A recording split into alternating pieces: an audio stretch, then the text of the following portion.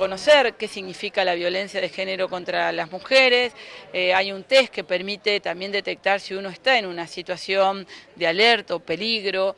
Eh, están datos fundamentales como a dónde pedir ayuda y obviamente novedades que convocan a distintas actividades que el Instituto de la Mujer viene haciendo. Este es un proyecto de la concejala Viviana Foresi del Consejo que fue aprobado y que bueno, lo hemos aplicado y que desde ahora va a estar a disposición, es gratuito para que eh, pueda bajarse en todos los celulares y tener esta herramienta más para detectar eh, pedir ayuda y por supuesto eh, tener eh, lugares para fortalecer la autoestima de las mujeres.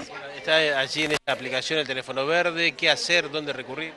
Efectivamente, está el teléfono verde, los lugares de denuncia, qué hacer ante una situación de violencia donde se tiene que ir de la casa, qué llevarse, eh, qué cosas debe em, tener en cuenta, mm, dónde recurrir, realmente está ante un hecho de violencia y también alertas, ¿no? Realmente excelente, desarrollado por dos jóvenes de la ciudad y que puede, más allá de tener o no internet, ser bajado en todos los celulares.